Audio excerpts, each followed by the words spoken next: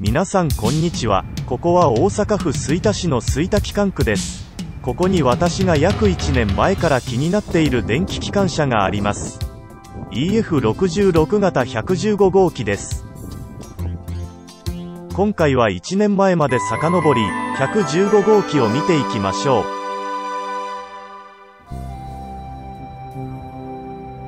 吹田機関区に EF210 型の姿が多く見られます。それだけ EF66 型が運用に入っているということでしょうか。それとも古い電気機関車はもう必要ないということでしょうか。吹田機関区に1両だけ EF66 型100番台が留置されています。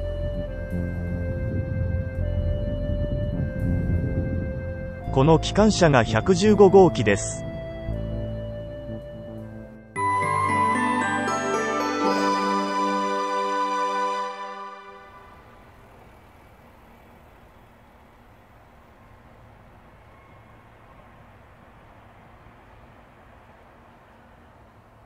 解体線に一時車の姿が見えます。一時車の解体が進んでいるようです。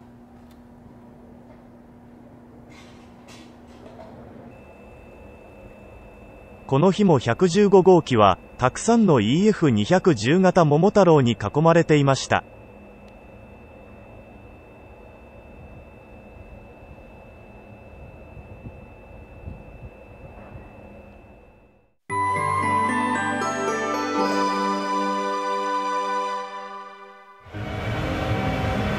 雪が降りかなり寒い吹田機関区で大きな袋を持ってゴミ拾いが行われています。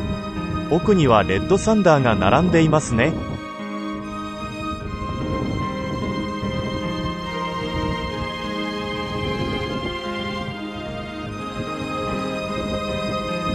相変わらず EF210 型が多い吹田機関区で EF66 型は115号機だけのようです。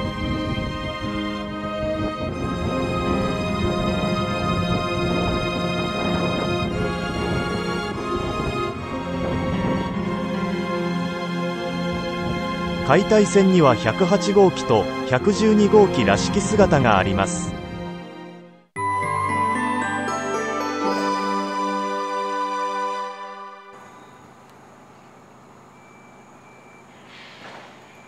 この日は EF66 型が4両連なっていました。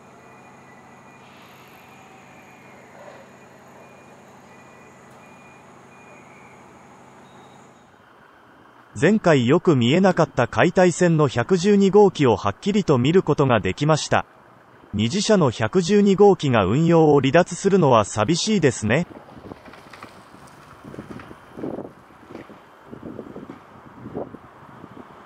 40連の先頭には115号機がいます。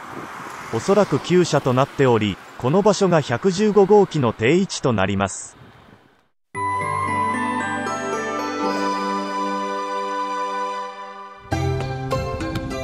ダイヤ改正が行われた後の吹田機関区に桜が咲いています。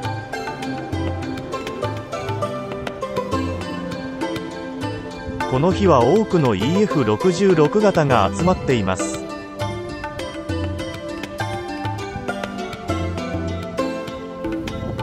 数日後桜が散り始め新緑が芽吹き始めた頃吹田機関区のほとんどの電気機関車が EF66 型になっていました。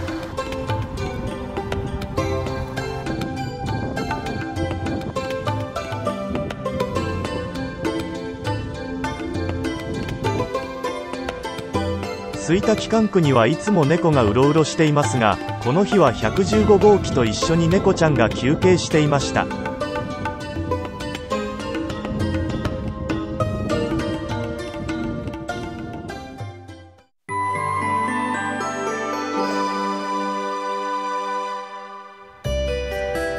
雨の日も115号機はいつもの場所にいます。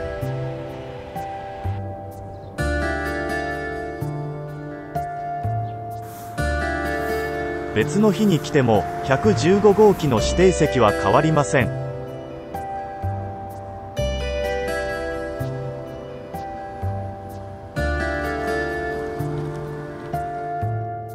それから半年が経ちました。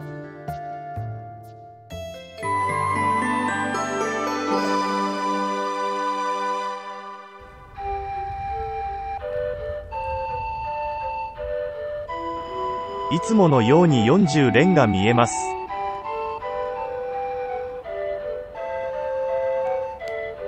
しかし先頭の電気機関車は115号機ではありません。一体115号機はどこに行ったのでしょうか？見つかりました。かし115号機のナンバーには運用離脱を表す白い線が引かれています。ついにこの日が来てしまいました。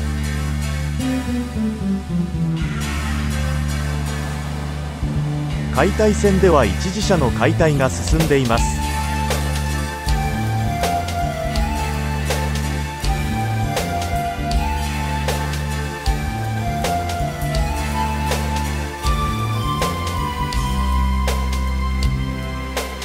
112号機の姿はまだ解体線にありますね。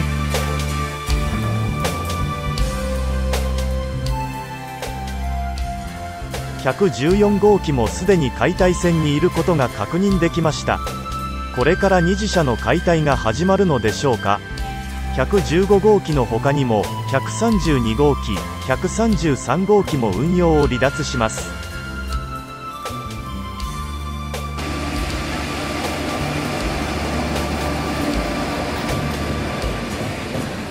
私は EF66 型が好きで今までたくさん撮影をしてきましたが残念ながら115号機だけは動いているところを撮影することはできませんでした。おそらく一番多く撮影している EF66 型は止まっている115号機だったと思われます。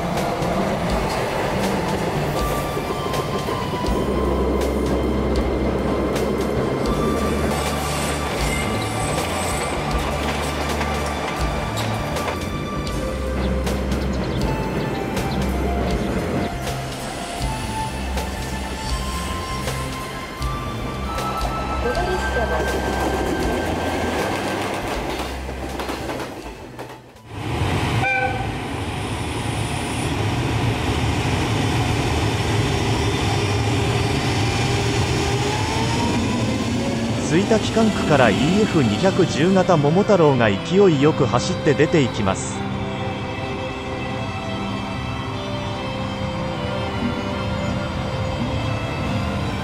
その後ろには次の出番を待ち続ける EF66 型の姿が見えます。